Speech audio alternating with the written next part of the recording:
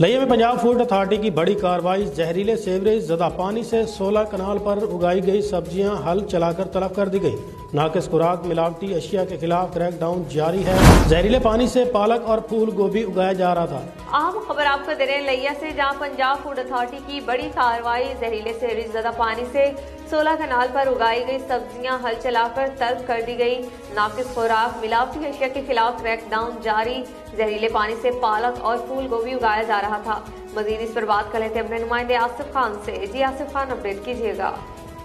जी बिल्कुल लिया में पंजाब फ़ूड अथॉरिटी ने कार्रवाई करते हुए नाकिस खुराक, मिलावटी एशिया को जड़ से उखाड़ने का सिलसिला जारी रखते हुए पंजाब फ़ूड अथॉरिटी ने जहरीले सेवरेज ज़्यादा पानी से 16 कनाल पर उगाई गई सब्ज़ियाँ हल चलाकर तलफ कर दी। कार्रवाई एफ़ शुमाली बंद नैयर शाह अशरफ बगदादी मजार लिया में की गई। इस बारे में director general Punjab food authority Rafaqat Ali Niswana का कहना था कि 16 कनाल पर जहरीले पानी से शराब की जाने वाली पालक और फूल गोभी को हल चलाकर तलब कर दिया गया है। पंजाब फ़ूड अथॉरिटी की जानब से गंदे पानी से सब्जियों की काश्त पर सख्त पाबंदी आयद है।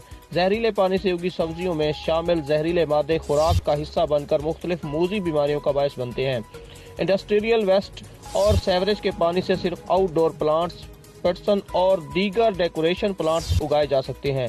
जिन इलाकों में नहरी या ट्यूबवेल का पानी दस्तियाब नहीं, वहाँ सिर्फ़ गैर खोदनी फ़सलें उगाएँ। आवाम से गुजारिश है कि ऐसे सेहत दुश्मन अनासर के खिलाफ पंजाब फ़ूड अथॉरिटी को इतला दें। जी। बहुत शुक्रिया, आसिफ खान। आप हमें तफसी दे। थे